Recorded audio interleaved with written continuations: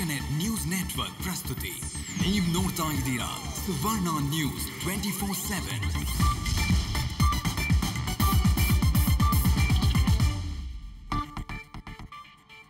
good morning Suvarna ನ್ಯೂಸ್ಗೆ ಸ್ವಾಗತ ನಾನು ಭಾವನಾ ಈಗ ಹೆಡ್ಲೈನ್ಸ್ ಬಿಜಾಪುರದಲ್ಲಿ ಹೊತ್ತಿ ಉರಿಯಿತು ಕಾರ್ಖಾನೆ ಅಗ್ನಿ ಕೆನ್ನಾಲಿಗೆಗೆ ದಾಲ್ ಮಿಲ್ ಭಸ್ಮ, ಬೆಂಕಿ ನಂದಿಸಲು ಅಗ್ನಿಶಾಮಕ ದಳ ಹರಸಾಹಸ.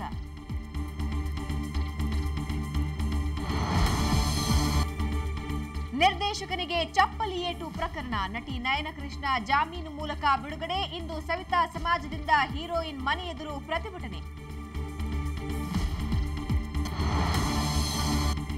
ಬಿಜೆಪಿಯಲ್ಲಿ ದಿನಕ್ಕೊಂದು ರೂಪ ತಣ್ಣಗಾಗಲಿಲ್ಲ. ಬಿಎಸ್ವೈ ಈಶ್ವರಪ್ಪ ಕೋಪ ತಾಪ ಯಡಿಯೂರಪ್ಪರನ್ನ ಪಕ್ಷದಲ್ಲೇ ಉಳಿಸಿಕೊಳ್ಳಲು ಅಶೋಕ್ ಸಂಕಲ್ಪ.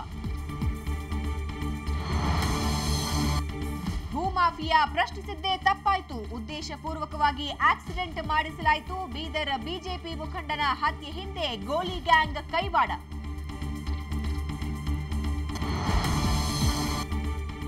ಅಮೆರಿಕ ಅಧ್ಯಕ್ಷ ಪಟ್ಟಕ್ಕೆ ಬಂದೇ ಬಿಡ್ತು ಚುನಾವಣೆ. ಮತದಾರರ ಮನವೊಲಿಕೆಗೆ ಒಬಾಮಾ, ರೋಮ್ನಿ ಕಸರತ್ತು, ವೀಕೆಂಡ್ ಮಜಕ್ಕೂ ಪ್ರಚಾರದ ಟಚ್.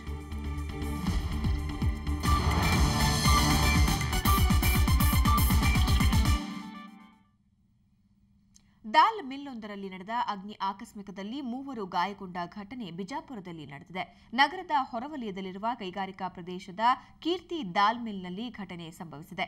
ಅಗ್ನಿ ಅವಘಡಕ್ಕೆ ಕಾರಣ ತಿಳಿದುಬಂದಿಲ್ಲ. ಎಸ್ಕಿನ್ ಅನ್ನೋ ಪರಿಣಾಮಕಾರಿ ಇಂಧನ ತುಂಬಿದ್ದ ಟ್ಯಾಂಕ್ ವಾಲ್ವ್ ಬಳಿ ಬೆಂಕಿ ತಗುಲಿದ ಪರಿಣಾಮ ಬೆಂಕಿ ಕೆನ್ನಾಲಿಗೆ ಹೆಚ್ಚಿತ್ತು. ನಾಲ್ಕು ಅಗ್ನಿಶಾಮಕ ದಳಗಳು ಬೆಂಕಿ ನಂದಿಸಿದ್ವು. ಸ್ಥಳಕ್ಕೆ ಭೇಟಿ ನೀಡಿದ ಎಎಸ್ಪಿ ಚೇತನ್ ಸ್ಥಳ ಪರಿಶೀಲಿಸಿದ್ರು. ಗೋಲ್ಗುಂಬಸ್ ಪೊಲೀಸ್ ಠಾಣೆಯಲ್ಲಿ ಪ್ರಕರಣ ದಾಖಲಾಗಿದೆ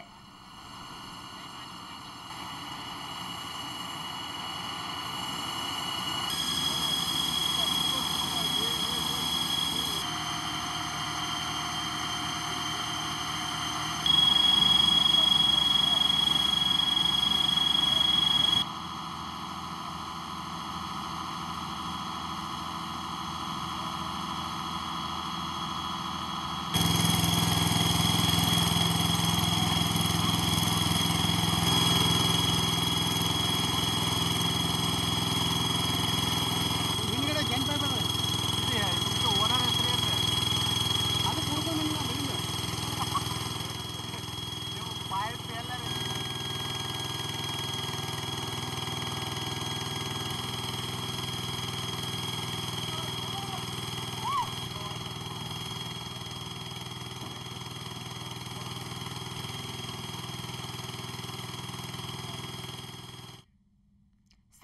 ಸ್ಯಾಂಡಲ್ವುಡ್ನಲ್ಲಿ ಇತ್ತೀಚೆಗೆ ಅದೇನಾಗ್ತಿದೆಯೋ ಏನೋ, ಬರೀ ವಿವಾದಗಳೇ ಹುಟ್ಟಿಕೊಳ್ತಾ ಇವೆ. ಚಿತ್ರಗಳಲ್ಲಿ ಉತ್ತಮ ಆಕ್ಟ್ ಮಾಡಿ ಹೆಸರು ತಗೊಳ್ಳೋದಕ್ಕಿಂತ ಕೆಟ್ಟ ವಿಷಯಗಳಿಂದನೇ ಸುದ್ದಿಯಾಗ್ತಿವೆ. ಕೊಟ್ಲಲಪ್ಪೋಕ ಈ ಚಿತ್ರ ಕೂಡ ಹಾಗೇನೆ. ಹಣ ಹಂಚಿಕೆ ವಿಚಾರಕ್ಕೆ ಸಂಬಂಧಿಸಿದಂತೆ ನಿರ್ದೇಶಕನಿಗೆ ಚಪ್ಪಲಿ ಏಟು ಹಾಕಿದ ಪ್ರಕರಣಕ್ಕೆ ಸಂಬಂಧಿಸಿದಂತೆ ನಟಿಗೆ ಜಾಮೀನು ಸಿಕ್ಕಿದೆ.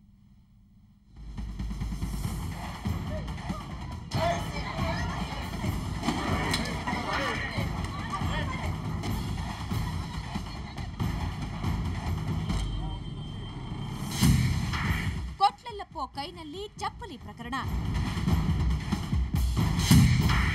ನಟಿ ನಯನ ಕೃಷ್ಣ ಬಂಧನ ಬಿಡುಗಡೆ. ಅವಾಚ್ಯ ಶಬ್ದ ಬಳಸಿದ ನಯನ ವಿರುದ್ಧ ಸವಿತಾ ಸಮಾಜ ಗರಂ. ನಿರ್ದೇಶಕನಿಗೆ ಚಪ್ಪಲಿ ಏಟು ಕೊಟ್ಟ ಪ್ರಕರಣದಲ್ಲಿ ಬಂಧಿಸಲ್ಪಟ್ಟಿದ್ದ ನಯನ ಜಾಮೀನಿನ ಮೇಲೆ ಬಿಡುಗಡೆಯಾಗಿದ್ದಾಳೆ. ನಿನ್ನೆ ಕೊಟ್ಲಲಪ್ಪೋ ಕೈ ಚಿತ್ರದ ಸುದ್ದಿಗೋಷ್ಠಿ ವೇಳೆ ಹೈಡ್ರಾಮಾನೆ ನಡೆದು ಹೋಗಿತ್ತು. ತಮಗೆ ನಿರ್ಮಾಪಕ ಎಂಟು ಲಕ್ಷ ರೂಪಾಯಿ ವಂಚಿಸಿದ್ದಾರೆ ಅಂತ ನಯನ ಆರೋಪಿಸಿದ್ರು.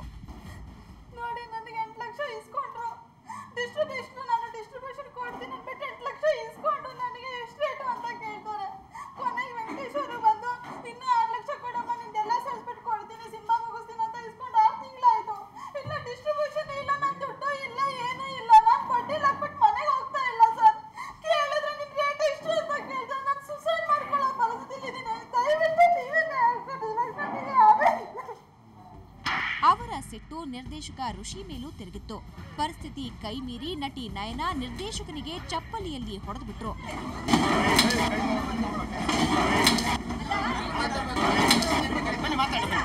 ಈ ಸಂಬಂಧ ಉಪ್ಪಾರಪೇಟೆ ಠಾಣೆಯಲ್ಲಿ ಪ್ರಕರಣ ದಾಖಲಾಯಿತು. ಪೊಲೀಸರು ನಯನಾರನ್ನ ಅರೆಸ್ಟ್ ಕೂಡ ಮಾಡಿದ್ರು. ನಟಿ ವಿರುದ್ಧ ಸೆಕ್ಷನ್ ತ್ರೀ ಫಿಫ್ಟಿ ಫೈವ್ ಮತ್ತು ಫೈವ್ ನಾಟ್ ಫೋರ್ ಅಡಿ ಕೇಸ್ ಕೂಡ ದಾಖಲಿಸಿದ್ರು. ನಂತರ ಜಾಮೀನಿನ ಮೇಲೆ ಬಿಡುಗಡೆ ಮಾಡಿದ್ರು. ನಯನಾಗೆ ಸಹಕಾರ ನೀಡಿದ ಆರೋಪದ ಮೇಲೆ ಬಂಧಿತರಾಗಿದ್ದ ಮಹಿಳಾ ಸಂಘಟನೆ ಅನಿತಾ ಕೂಡ ಬಿಡುಗಡೆಯಾದರು. ಇನ್ನು ನಯನಾ ವಿರುದ್ಧ ಸವಿತಾ ಸಮಾಜದ ಪ್ರತಿಭಟನಾಕಾರರು ಆಕ್ರೋಶ ವ್ಯಕ್ತಪಡಿಸಿದ್ದಾರೆ. ಸುದ್ದಿಗೋಷ್ಠಿಯಲ್ಲಿ ಗಲಾಟೆ ವೇಳೆ ತಮ್ಮ ಸಮಾಜಕ್ಕೆ ಅವಮಾನಕಾರಿಯಾದ ರೀತಿಯಲ್ಲಿ ಮಾತನಾಡಿದ್ದಾರೆ ಅಂತ ಕಾರ್ಯಕರ್ತರು ಆರೋಪಿಸಿದ್ದಾರೆ. ಅವಾಚ್ಯ ಶಬ್ದ ಬಳಸಿದ ನಟಿ ನಯನಕೃಷ್ಣ ಮನೆಯೆದುರು ಇವತ್ತು ಪ್ರತಿಭಟನೆ ನಡೆಸಲು ಸಿದ್ಧರಾಗಿದ್ದಾರೆ. ಕ್ಷೌರಿಕರ ಹಿತರಕ್ಷಣಾ ವೇದಿಕೆ ಇದರ ನೇತೃತ್ವ ವಹಿಸಲಿದೆ. ಒಟ್ನಲ್ಲಿ ಇತ್ತೀಚೆಗೆ ಚಿತ್ರಗಳು ಬಿಡುಗಡೆಗೆ ಮುಂಚೆಯೇ ಸುದ್ದಿಯಾಗ್ತಿವೆ. ಆದರೆ ಅದು ವಿವಾದಗಳ ಮೂಲಕ ಅನ್ನೋದು ಮಾತ್ರ ವಿಪರ್ಯಾಸ.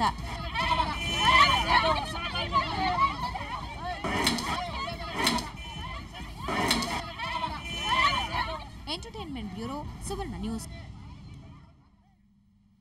ಬಿಜೆಪಿಯಲ್ಲಿ ಏನಾಗ್ತಾ ಇದೆ? ಜನಸಾಮಾನ್ಯರಿಗೆ ಗೊತ್ತಾಗೋದು ನಂತರದ ವಿಚಾರವಾಯಿತು. ಸ್ವತಃ ಪಕ್ಷದಲ್ಲಿರೋ ನಾಯಕರಿಗೂ ತಲೆಬುಡ ಗೊತ್ತಾಗ್ತಾ ಇಲ್ಲ. ಯಾವ ವೇಳೆ ಯಾರು ಏನ್ ಮಾತಾಡ್ತಾರೆ ಅಂತ ತಿಳಿಯದ ಸಂಗತಿ ಕಮಲಪಾಳಿಯದ್ದು. ಜೊತೆಗೆ ಕಚ್ಚಾಟವೂ ತೀವ್ರಗೊಂಡಿದೆ.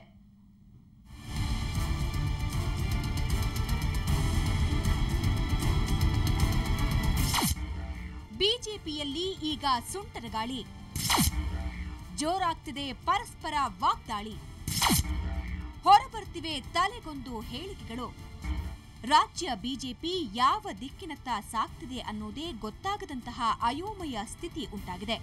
ಯಾರು ಏನ್ ಹೇಳ್ತಿದ್ದಾರೆ, ಯಾರ ಪರ ಗುರುತಿಸಿಕೊಳ್ತಿದ್ದಾರೆ ಅನ್ನೋದೇ ಗೊತ್ತಾಗದೆ ನಾಯಕರು ಕನ್ಫ್ಯೂಸ್ ಆಗಿದ್ದಾರೆ. ಮುಂಬರುವ ಚುನಾವಣೆಗೆ ರೆಡಿ ಆಗೋದೋ ಅಥವಾ ಈ ಶಾಸಕರು ಅವರ ಹಿಂಬಾಲಕರನ್ನ ಸಂಭಾಳಿಸೋದೋ ಅಂತ ಗೊತ್ತಾಗದೆ ಕಂಗಾಲಾಗಿದ್ದಾರೆ. ಇದೆಲ್ಲದರ ಮಧ್ಯೆ ಬಿಜೆಪಿಗೆ ಯಡಿಯೂರಪ್ಪ ಅನಿವಾರ್ಯ ಅನ್ನೋದನ್ನ ಹೈಕಮಾಂಡ್ಗೆ ಮನವರಿಕೆ ಮಾಡಿಕೊಡೋ ಯತ್ನಾನೂ ನಡೆದಿದೆ. ಡಿಸಿಎಂ ಅಶೋಕ್ ದೆಹಲಿಯಲ್ಲಿ ಬೀಡು ಬಿಟ್ಟಿದ್ದಾರೆ. ಮಾಜಿ ಸಿಎಂ ಯಡಿಯೂರಪ್ಪರನ್ನ ಬಿಜೆಪಿಯಲ್ಲೇ ಉಳಿಸಿಕೊಳ್ಳಲು ಅವರನ್ನ ಮನವೊಲಿಸುವ ಯತ್ನ ಇನ್ನೂ ನಡೆಯುತ್ತಲೇ ಇದೆ ಅಂತ ಬಹಿರಂಗವಾಗಿ ಹೇಳಿದ್ದಾರೆ. ಬಿಎಸ್ವೈರನ್ನ ಹೊಸ ಪಕ್ಷ ಸ್ಥಾಪಿಸದಂತೆ ಮನವೊಲಿಸುವ ಯತ್ನ ನಡೀತಾ ಇದೆ. ಅಲ್ಲದೆ ಇವತ್ತು ತಾವು ಕೂಡ ಬಿಜೆಪಿ ವರಿಷ್ಠರನ್ನ ಭೇಟಿಯಾಗಿ ಎಲ್ಲ ಸಾಧಕ ಬಾಧಕ ವಿವರಿಸುವುದಾಗಿ ಅಶೋಕ್ ತಿಳಿಸಿದ್ದಾರೆ. ಇನ್ನೂ ಪ್ರಯತ್ನಗಳಾಗ್ತಾ ಇದೆ. ಯಡಿಯೂರಪ್ಪನವರು ಪಕ್ಷದಲ್ಲಿ ಉಳಿಬೇಕು ಅನ್ನೋದೇ ಎಲ್ಲರ ಕಾರ್ಯಕರ್ತರ ಬಯಕೆ ಇದೆ. ಆ ದೃಷ್ಟಿಯಿಂದ ಉಳಿಸ್ಕೊಳ್ಳೋ ಉಳಿಸ್ಕೊಳ್ಳೋವಂಥ ಪ್ರಯತ್ನಗಳು ಇನ್ನೂ ನಡೀತಾ ಇದೆ. ನಮ್ಮ ಸೆಂಟ್ರಲ್ ಲೀಡರ್ಸ್ ಎಲ್ಲ ಮಾತಾಡ್ತಾ ಇದ್ದಾರೆ. ನಾನು ಇವತ್ತು ಡೆಲ್ಲಿಗೆ ಬಂದಿದ್ದೀನಿ.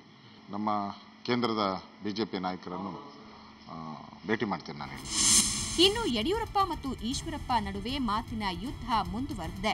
ಹಾವೇರಿಯಲ್ಲಿ ಮಾತನಾಡಿದ ಡಿಸಿಎಂ ಈಶ್ವರಪ್ಪ, ಬಿಎಸ್ವೈ, ಬಿಜೆಪಿ ತೊರೆದರೂ ಪಕ್ಷಕ್ಕೆ ನಷ್ಟವಿಲ್ಲ. ಉಮಾಭಾರತಿ, ಕೇಶುಭಾಯ್ ಪಟೇಲ್, ಕಲ್ಯಾಣ್ ಸಿಂಗ್ ನಂತಹ ದೊಡ್ಡ ನಾಯಕರು ಹೋದಾಗಲೂ ಬಿಜೆಪಿಗೆ ಏನೂ ಆಗಿಲ್ಲ ಅಂತ ಗುಡುಗಿದ್ದಾರೆ. ಈ ಮೂಲಕ ಉರಿಯೋ ಬೆಂಕಿಗೆ ತುಪ್ಪ ಸುರಿಯೋ ಯತ್ನ ನಡೆಸಿದ್ದಾರೆ.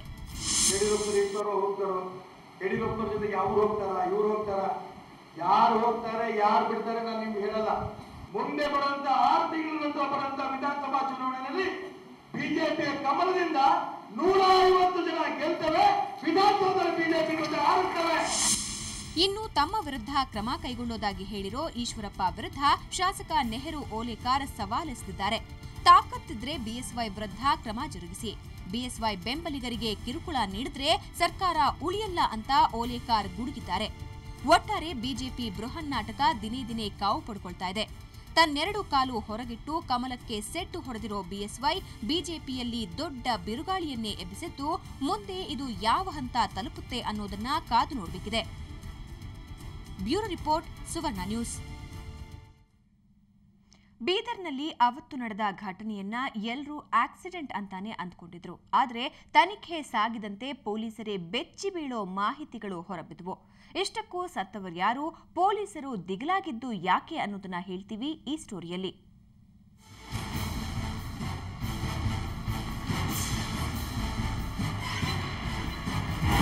ಬೆಂಗಳೂರಿನಲ್ಲಿ ದಂಡುಪಾಳ್ಯದ ಹಂತಕರು ಎಬ್ಬಿಸಿದ್ದ ಹಾವಳಿ ನಿಮಗೆ ಗೊತ್ತಿರಬೇಕು. ಹಣಕ್ಕಾಗಿ ಕೊಲೆ ಮಾಡೋದು ಇವರ ಕಾಯಕವಾಗಿತ್ತು. ಇಂತಹದ್ದೇ ಖತರ್ನಾಕ್ ಗ್ಯಾಂಗ್ ಒಂದು ಕೆಲ ವರ್ಷಗಳ ಹಿಂದೆ ಬೀದರ್ನಲ್ಲಿ ಸಕ್ರಿಯವಾಗಿತ್ತು. ಅದೇ ಗೋಲಿ ಗ್ಯಾಂಗ್. ನಂತರದ ದಿನಗಳಲ್ಲಿ ನಾಪತ್ತೆಯಾಗಿದ್ದ ಈ ಗೋಲಿ ಗ್ಯಾಂಗ್ ಈಗ ಮತ್ತೆ ಸಕ್ರಿಯವಾಗಿದೆ ಅನ್ನೋ ಆತಂಕಕಾರಿ ವಿಷಯ ಹೊರಬಿದ್ದಿದೆ. ಅಕ್ಟೋಬರ್ ಹನ್ನೊಂದರಂದು ಬೀದರ್ ಹೊರವಲಯದ ಗುರುದ್ವಾರ ರಿಂಗ್ ರಸ್ತೆಯಲ್ಲಿ ನಡೆದ ಅಪಘಾತದಲ್ಲಿ ಮೃತಪಟ್ಟ ಬಿಜೆಪಿ ಮುಖಂಡ ರೋಹನ್ ಪಾಟೀಲ್ ಸಾವಿನ ಹಿಂದೆಯೂ ಈ ಗೋಲಿ ಗ್ಯಾಂಗ್ ಇದೆ ಅನ್ನೋದು ಈಗ ಬಯಲಾಗಿದೆ. ಬೀದರ್ ನಗರಸಭೆ ಸದಸ್ಯೆ ದಮಯಂತಿ ಅವರ ಪುತ್ರ ಪಾಟೀಲ್ ಭೂಮಾಫಿಯಾಗೆ ತಡೆ ಒಡ್ಡಿದ್ದೇ ಕೊಲೆಗೆ ಕಾರಣ ಅನ್ನೋದು ಬಯಲಾಗಿದೆ. ಆಸ್ ಆಫ್ ನಾವು ಇವತ್ತಿನ ತನಿಖೆವರೆಗೆ ನಮಗೆ ಗೊತ್ತಾದದ್ದು ಏನಂದರೆ, ಇದನ್ನು ಈ ಕೌನ್ಸಿಲರಾದ ರವಿಸ್ವಾಮಿ ಮತ್ತು ರಿಯಾಸ್ ಇವರು ಇಬ್ಬರು ಈ ಜಾಗದ ಒಂದು ಕೆಲವೊಂದು ಜಾಗದ ವಿಚಾರದಲ್ಲಿ ಇವರು ನಕಲಿ ದಾಖಲಾತಿಗಳು ಮಾಡುವುದು, ಕೆಲವು ಜಾಗವನ್ನು ಎನ್ಕ್ರೋಚ್ ಮಾಡುವುದು ಮತ್ತು ಕೆಲವರು ಅಮಾಯಕ ಕಡೆಯಿಂದ ಕಬ್ಸಾ ಮಾಡುವುದು ಈ ಗೋಲಿ ಗ್ಯಾಂಗ್ ಮತ್ತು ಈ ಇಬ್ಬರು, ಈ ಒಂದು ವಿಚಾರದಲ್ಲಿ ರೋಹನ್ ಪಾಟೀಲ್ ಮತ್ತು ಇವರಿಗೆ ಕೆಲವೊಂದು ರೀತಿಯಲ್ಲಿ ಇವರಿಗೆ ಪ್ರಾಬ್ಲಮ್ ಇತ್ತು ದೆರ್ ಇಶ್ಯೂ ಆ ಇಶ್ಯೂನಿಂದಲೂ ಇವರಿಗೆ ಮರ್ಡರ್ ಮಾಡಲಿಕ್ಕೆ ಹೊರಟಿದ್ದು ಇವರು ನಗರಸಭೆ ಸದಸ್ಯರಾದ ರವಿಸ್ವಾಮಿ ಮತ್ತು ರಿಯಾಜ್ ಅನ್ನೋರು ಈ ಗೋಲಿ ಗ್ಯಾಂಗ್ಗೆ ಸುಪಾರಿ ಕೊಟ್ಟು ಕೊಲೆ ಮಾಡಿಸಿದ್ದಾರೆ ಅನ್ನೋದು ಗೊತ್ತಾಗಿದೆ. ಪ್ರಕರಣ ಸಂಬಂಧ ಗೋಲಿ ಗ್ಯಾಂಗ್ನ ಶೇಖ್ ಖಾಜಾ ಮತ್ತು ಶೇಖ್ ಖಯ್ಯಂರನ್ನ ಬಂಧಿಸಿರುವ ಪೊಲೀಸರು ಕೃತ್ಯಕ್ಕೆ ಬಳಸಿದ ವಸ್ತುಗಳನ್ನ ವಶಪಡಿಸಿಕೊಂಡಿದ್ದಾರೆ. ಮಾನ್ಯ ಎಸ್ ಪಿ ಅವರು ಇದನ್ನು ಉನ್ನತ ತನಿಖೆ ಮಾಡ್ತಕ್ಕಂಥ ಭರವಸೆ ನೀಡಿದ್ದಾರೆ. ಆದರೆ ನನ್ನ ಮನವಿ ಇದೆ.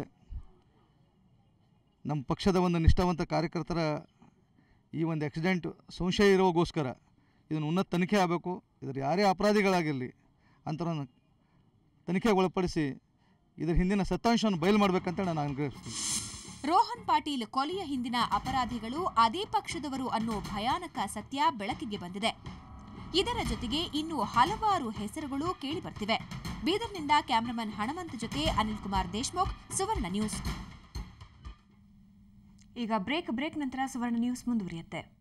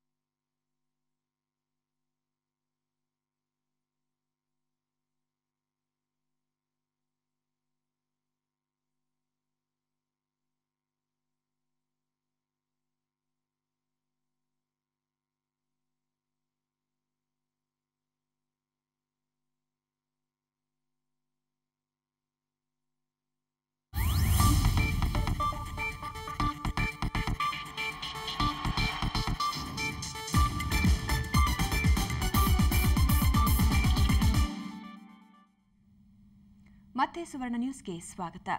ಕೆಲವೊಂದು ಜನರು ದುಡ್ಡು ಕಳಿಸೋಕೆ ಏನೆಲ್ಲ ಮಾಡ್ತಾರೆ ಅನ್ನೋದಕ್ಕೆ ಈ ಪ್ರಕರಣ ಸಾಕ್ಷಿಯಾಗಿದೆ. ಮಾತ್ ಬರಲ್ಲ ಅಂತ ಹೇಳಿ ನಕಲಿ ಪ್ರಮಾಣ ಪತ್ರ ತೋರಿಸಿ ಭಿಕ್ಷೆ ಬೇಡ್ತಾ ಇದ್ದ ಅಪ್ರಾಪ್ತ ಬಾಲಕನನ್ನ ಮಕ್ಕಳ ಕಲ್ಯಾಣ ಇಲಾಖೆ ವಶಕ್ಕೆ ತೆಗೆದುಕೊಂಡಿದೆ. ಇದರ ಹಿಂದೆ ದೊಡ್ಡ ಜಾಲವೇ ಇರೋ ಬಗ್ಗೆ ಅಧಿಕಾರಿಗಳು ಸಂಶಯ ವ್ಯಕ್ತಪಡಿಸಿದ್ದಾರೆ.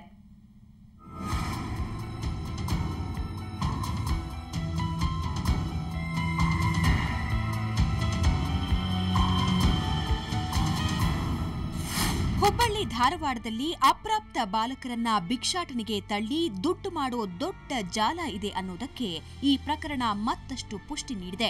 ಇಷ್ಟಕ್ಕೂ ಈ ಬಾಲಕನ ಹೆಸರು ಕುಮಾರ. ಹದಿಮೂರು ವರ್ಷದ ಈ ಬಾಲಕನಿಗೆ ಮಾತನಾಡಲು ಬಂದರೂ ನನಗೆ ಮಾತು ಬರಲ್ಲ, ನನ್ನ ತಂದೆ ತಾಯಿ ಅಪಘಾತದಲ್ಲಿ ಮೃತಪಟ್ಟಿದ್ದಾರೆ, ನನ್ನ ಅಕ್ಕನ ಮದುವೆ ಮಾಡಬೇಕಿದೆ ಅಂತ ಸರ್ಕಾರದ ಅನುಕಂಪ ಪ್ರಮಾಣಪತ್ರ ತೋರಿಸ್ತಾನೆ. ಹೀಗೆ ನಕಲಿ ಪ್ರಮಾಣ ಪತ್ರ ನೀಡಿ ಪ್ರತಿದಿನ ಸಾವಿರಾರು ರೂಪಾಯಿ ಸಂಪಾದಿಸ್ತಾ ಇದ್ದ ಈ ಬಾಲಕನನ್ನ ಮಕ್ಕಳ ಕಲ್ಯಾಣ ಇಲಾಖೆ ಪತ್ತೆ ಮಾಡಿ ವಶಕ್ಕೆ ಪಡೆದುಕೊಂಡಿದೆ.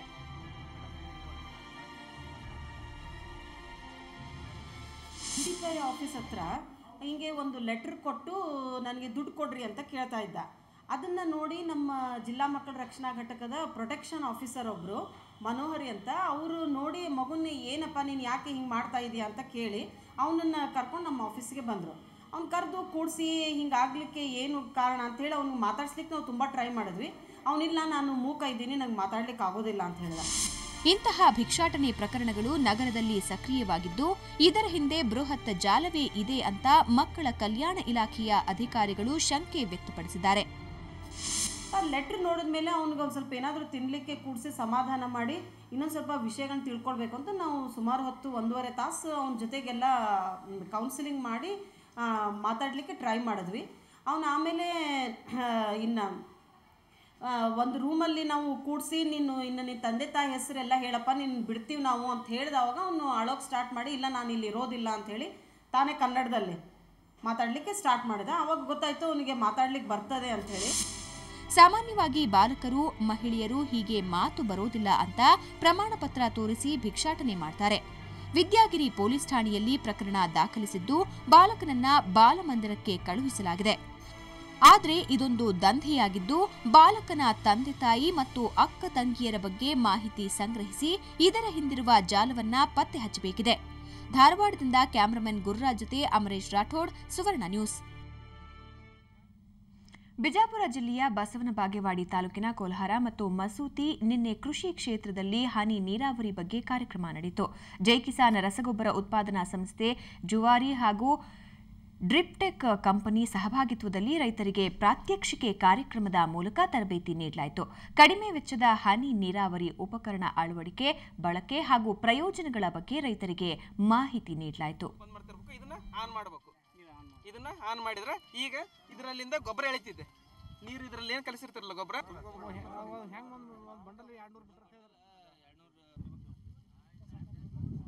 ಈ ಹನಿ ನೀರಾವರಿಯ ಮುಖ್ಯ ಉದ್ದೇಶ ಅಂತಂದರೆ ನೀರು ಹಾಗೂ ಪೋಷಕಾಂಶಗಳ ಪರಿಪೂರ್ಣ ಬಳಕೆ ಆಗುವಂಥದ್ದು. ಇದರಿಂದ ನಾ, ಇದ್ರ ಮೂಲಕ ನಾವು ಇಲ್ಲಿ ತೋರಿಸ್ಕೊಡೋದು ಏನಂತಂದರೆ ಈ ಹನಿ ನೀರಾವರಿ ಮತ್ತು ರಸಾವರಿ ಏನಿದೆಯಲ್ಲ ಇದು ಕೇವಲ ಹಣ್ಣಿನ ಅಥವಾ ತೋಟಗಾರಿಕಾ ಬೆಳೆಗಷ್ಟೇ ಸೀಮಿತವಾಗಲ್ದೇ ಈಗ ಈರುಳ್ಳಿ, ಉಳಿದ ತರಕಾರಿ ಬೆಳೆಗಳು, ಮೆಕ್ಕೆಜೋಳ ಈ ಒಂದು ಬೆಳೆಗಳಲ್ಲೂ ಕೂಡ ಇದನ್ನು ನಾವು ಉಪಯೋಗ ಮಾಡ್ಕೋಬೋದು ಅನ್ನೋದನ್ನು ಇಲ್ಲಿ ನಾವು ತೋರಿಸ್ತಾ ಇದ್ದೇವೆ. ಆದರೆ ಈಗ ಹಾಕಿರ್ತಕ್ಕಂಥದ್ದು ಭಾಳ ಸೂಕ್ತ. ರೈತರಿಗೆ ಅತಿ ಕಡಿಮೆ ಖರ್ಚಿನಲ್ಲಿ ಇವತ್ತು ರೈತರಿಗೆ ಲಾಭದ್ದು ಒಂದೇ ಹಾದಿ ನೋಡಕತ್ತೀವಿ ನಾವು ಎಲ್ಲ ಥರದಿಂದ ಇವತ್ತು ನೀರಿನ ಸದ್ಬಳಕೆನೂ ಕಡಿಮೆ ಆಕೈತಿ ಕರೆಂಟಿಂದು ಉಳಿಸ್ತೀವಿ. ಮತ್ತು ಅದ್ರ ಜೊತೆಗಿನ ಕಾಸ್ಟ್ ಇನ್ಕಮ್ಮು ಭಾಳ ಕಡಿಮೆ ಆಗೋದ್ರಿಂದ ನಮ್ಮ ರೈತ ಒಂದು ಮುಂದೆ ಪ್ರಗತಿಯಲ್ಲಿ ಹೋಗಾಕ ಒಂದು ದಿಕ್ಸೂಚಿ ಅಂತ ಇದನ್ನು ನಾನು ಹೇಳ್ಬೋದು. ಬೆಂಗಳೂರಿನಲ್ಲಿ ಡಿಫ್ರೆಂಟ್ ಫ್ಯಾಷನ್ ಶೋ ನಡೀತು. ಸಾಂಪ್ರದಾಯಿಕ ಉಡುಗೆ ತೊಟ್ಟ ಮಹಿಳೆಯರು ರ್ಯಾಂಪ್ ಮೇಲೆ ಮಿಂಚಿದ್ರು. ನೋಡುಗರಂತೂ ಫುಲ್ ಫಿದಾ.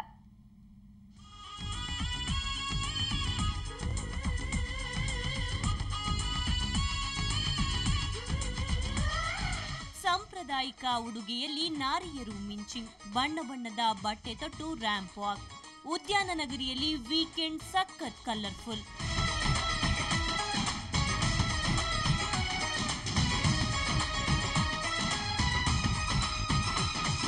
ಹೀಗೆ ಮಹಿಳೆಯರು ಕ್ಯಾಟ್ ವಾಕ್ ಮಾಡ್ತಿದ್ರೆ ಮತ್ತೊಂದೆಡೆ ದಾಂಡಿಯ ನೃತ್ಯ ಮನಮೋಹಕವಾಗಿತ್ತು.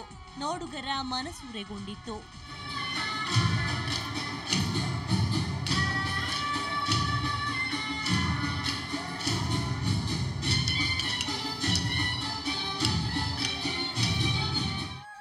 ದೀಪಾವಳಿ ಮೇಳ ದೀಪ ಬೊಂಬೆಗಳಿಂದ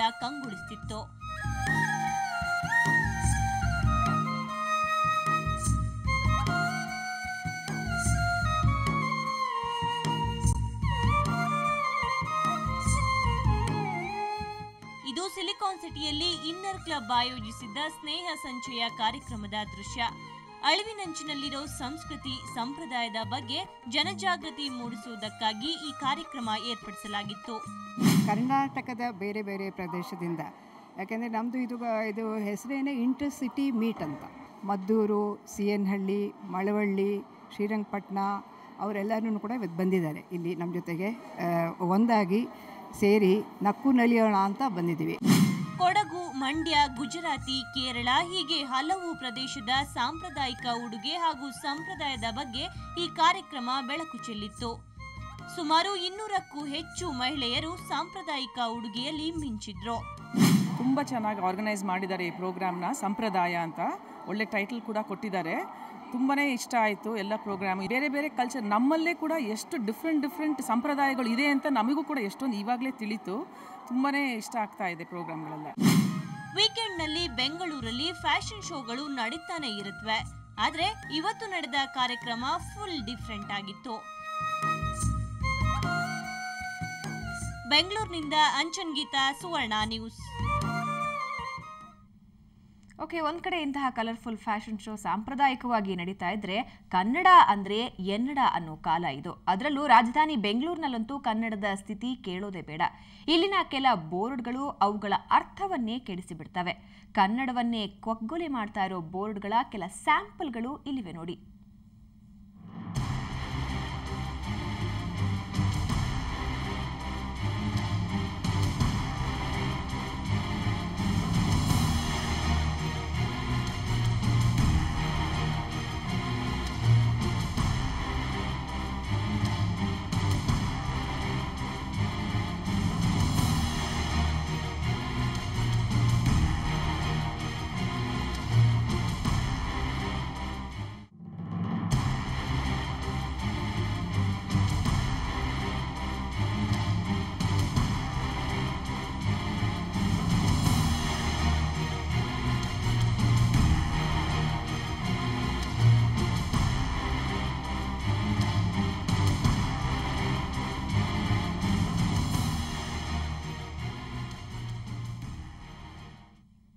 ಈಗ ಬ್ರೇಕ್ ಬ್ರೇಕ್ ನಂತರ ಸುವರ್ಣ ನ್ಯೂಸ್ ಮುಂದುವರಿಯುತ್ತೆ.